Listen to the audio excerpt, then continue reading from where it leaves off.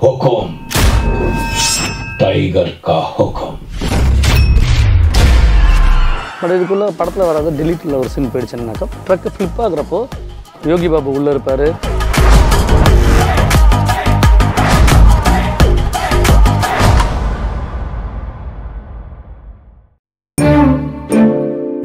தாத்தா உன் பேரன் இங்க தனி ஆளா கிடந்து அல்லாடிக்கிட்டு இருக்கேன் நீ சௌகரியமா போட்டோல இருந்துகிட்டு வேடிக்கை பார்த்துட்டு இருக்கேல்ல இரு உன்னை அப்புறமா வச்சுக்கிறேன்.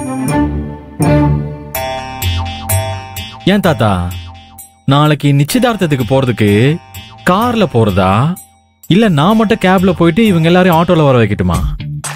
என்ன பண்றது? ஆ இன்னொரு முக்கியமான விஷயம் தாத்தா. கல்யாணத்தை எந்த ஆடம்பரமும் இல்லாம சிக்கனமா பண்ணி முடிச்சிடணும்.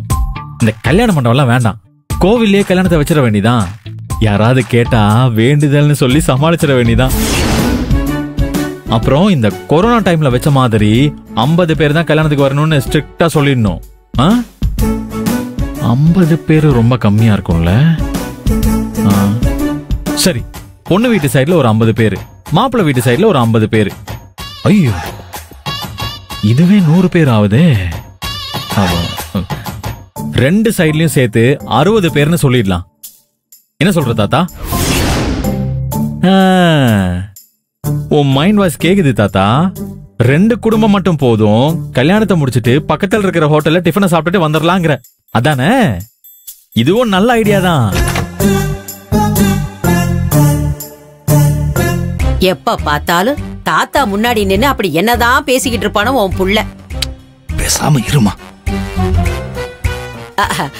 பிரபு கண்ணா உள்ள வரலாம் ஐயா?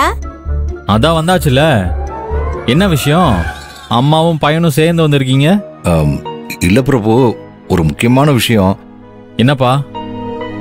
நாளைக்கு நிச்சயதார்த்தத்துக்கு ஏகாம்பரத்தையும் அவன் குடும்பத்தையும் கூப்பிட வேணாம்னு நானும் பாட்டியும் முடிவு பண்ணிருக்கோம் ஆஹா ரொம்ப நல்ல முடிவு. இத்தனை வருஷத்துல நீங்க ரெண்டு பேரும் சேர்ந்து எடுத்த உருப்படியான ஒரு முடிவு.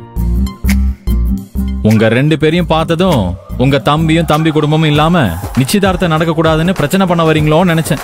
இப்பதான் உங்க ரெண்டு பேருக்கு அறிவு ரேகை லேசா எட்டி பாக்குது. அதை விட்டுடாம கபால்னு கட்டியா பிடிச்சுக்கோங்க? உன் தாத்தா மாதிரியே உனக்கும் நகைச்சுவை உணர்வு அதிகம் பிரபு கண்ணா. என்னத்தில்ல? சரிடா.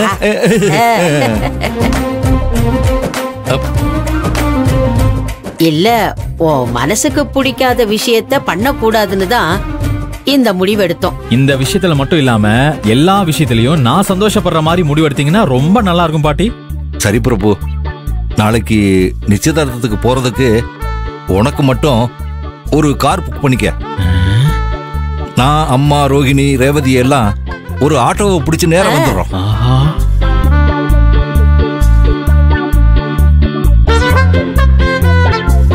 என்னடா இது? நம்ம தாத்தா கிட்ட சொன்னத அப்பா நம்ம கிட்ட சொல்றாரு. ஒருவேளை ஒளிஞ்சு நின்னு ஒட்டு கேட்டிருப்பாரோ? என்ன பிரபு யோசிக்கிற? நான் ஏதாவது தப்பா சொல்லிட்டேனா? இல்ல இல்ல. இன்னைக்குதான் உள்ள வந்ததுல இருந்து தப்பே இல்லாம கரெக்ட் கரெக்டா சொல்லிட்டு இருக்கீங்க. எனக்கு சந்தோஷம் தாங்கல. இனிமே ஓ சந்தோஷம்தான் எங்களோட சந்தோஷம். இதுக்கப்புறம் நாங்க உனக்கு எந்த சுமையும் கொடுக்க போறது இல்ல. நீங்க இப்படி எல்லாம் பேசுறத பார்த்தா எனக்கு டவுட்டா இருக்கு. பின்னாடி எதுவும் பெரிய வெடிகுண்டு இருக்கா அதெல்லாம் இல்ல பிரபு கண்ணா. ஒரே அடியோ எங்களை சந்தேகப்படாத. உனக்கு ஆதிரைய பிடிச்சிருக்கு. அவளை கல்யாணம் பண்ணிக்கிட்டு நீ சந்தோஷமா இருக்கணும். அதான் எங்களுக்கு வேணும்.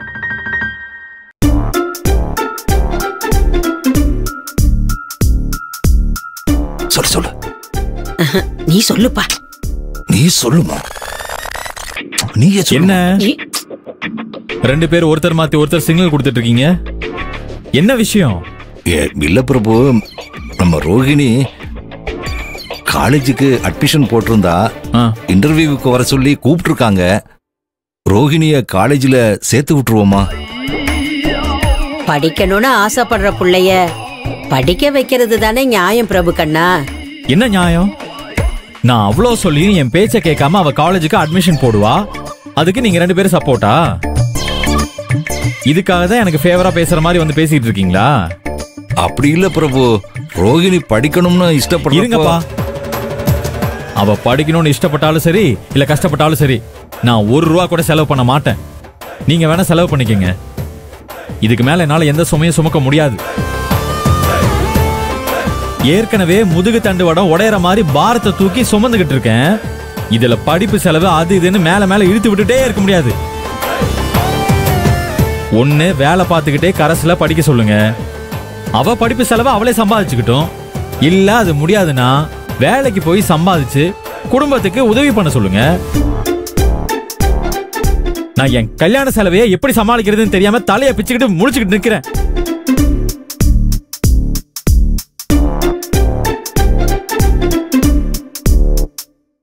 இன்னும் எதுக்கு நின்னுட்டு இருக்கீங்க நாளைக்கு எனக்கு நிச்சயதார்த்தம். கொஞ்சமாவது என்னை நிம்மதியா இருக்க விடுங்க. தயவு செஞ்சு போங்க. சரி பிரபு. நாங்க போயிடுறோம். வாமா.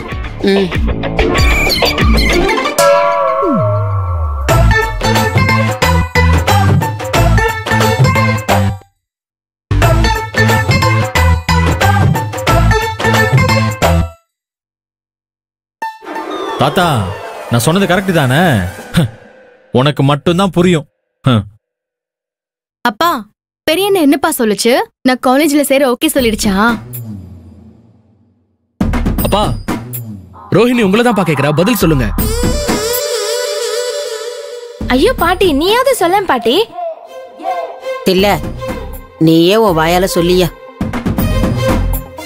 ரோகிணி உன் அண்ணன் அவனுக்கு கல்யாணம் நடக்க போற சந்தோஷத்துல இருக்கானே.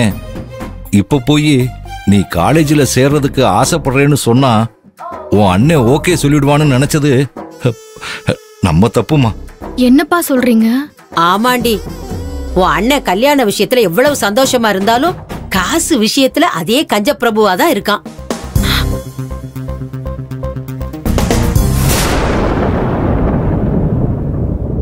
அப்படின்னா பெரியண்ண என்ன காலேஜ்ல சேர்க்க முடியாதுன்னு சொல்லிடுச்சா. என் படிப்பு கனவு அவ்வளவுதானா? அம்மாடி. ஏய் ரோஹிணி என்ன இது சின்ன புள்ள மாதிரி இதுக்கெல்லாம்? பெரிய அண்ணன் இல்லைன்னா என்ன? சின்ன அண்ணன் இல்லையா? நான் உன்னை படிக்க வைக்கிறேன். கார்த்தி நீ போட்டி போட்டுக்கிட்டு பிரச்சனையை பெருசாக்கி விட்டுறாத. அப்பா ரோஹிணிய படிக்க வைக்காம இந்த வீட்டுக்குள்ளேயே ஒரு மூலையில போட்டு மடக்கி அவ வாழ்க்கைய ஒண்ணு இல்லாம பண்ண போறீங்களாப்பா? நான் அப்படிலாம் சொல்லலப்பா. பின்ன என்னப்பா? நீ கொஞ்சம் அமைதியா இரு. ரோகிணி நீ கவலைப்படாதம்மா. நான் பிரபுவை எப்படியாவது சம்மதிக்க வைக்கிறேன். நான் சொல்றத நம்புமா?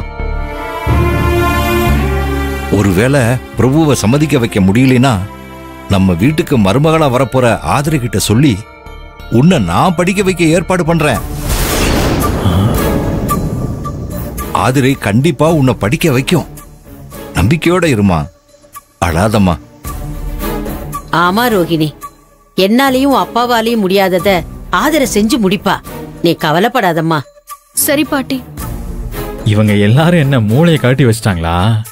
கல்யாணம் முடிஞ்சதும் நாங்க தனி கொடுத்தனம் போறதுக்கு ஆதரவு ஒத்துக்கிட்ட விஷயம் தெரியாம இப்படி அப்பாவியா பேசிட்டு இருக்காங்களே.